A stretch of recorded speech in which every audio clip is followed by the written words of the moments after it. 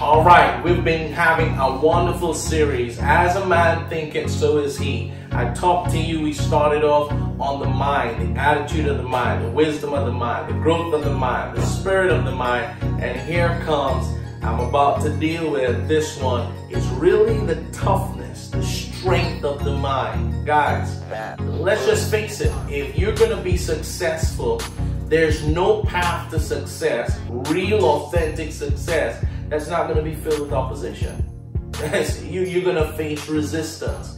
You're going to have to face what people say. You're going to have to face criticism. You're going to have to face people who say, I don't like your vision. I don't like you. I don't want it to work out for you. So what you're going to do, the mind can't be fragile and, and, and shattered. The mind has to be strong. It has to be able to take uh, uh, that type of resistance and that type of fire. So you've got to build mental toughness. And I can tell you, when it comes to strength, I like to recommend that you don't depend on your own strength.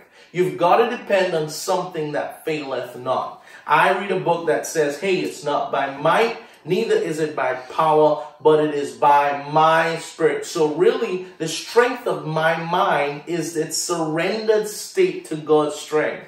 Say, God, I don't want to do this on my own. I don't want my thinking or my or my strength or my courage to be up to me alone. I want to, I want to last because of your strength.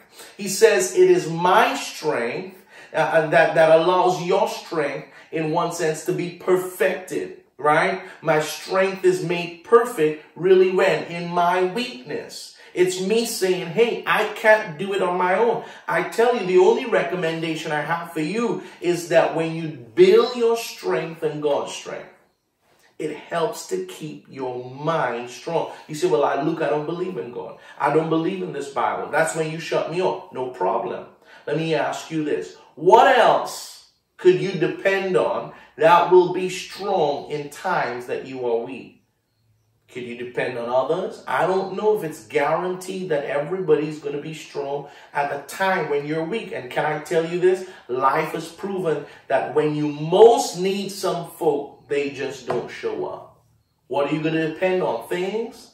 Things change. What are you going to depend on? Your money? The Bible says that money will take up wings and fly away. What are you going to depend? What else is so sustainable and long lasting that has outlasted all other times? I don't know, folks. If you just want to deal with it by process of elimination, God, he was, here, he was here before stuff, and after stuff is no longer stuff, you'll be here. So I don't have a recommendation for strength, persistence of the mind, except its surrendered state on something that is higher above.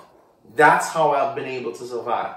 And it's come down to my trust in God's faithfulness and his track record. He's kept me in the past. He'll keep me now. He'll keep me in the future. So the strength of the mind is your dependence on the solid truth of what God says. The solid truth in that he says, hey, you can become an overcomer. You have the victory to overcome everything that you face in life. And that's my recommendation to you.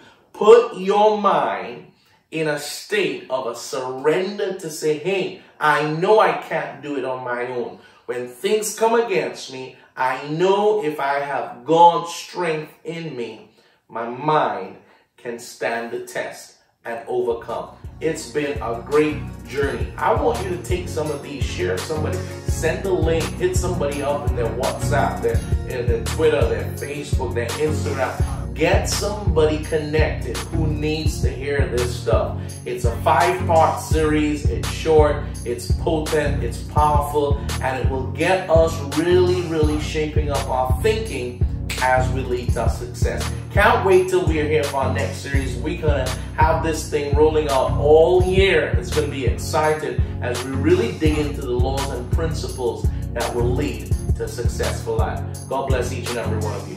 Bye-bye.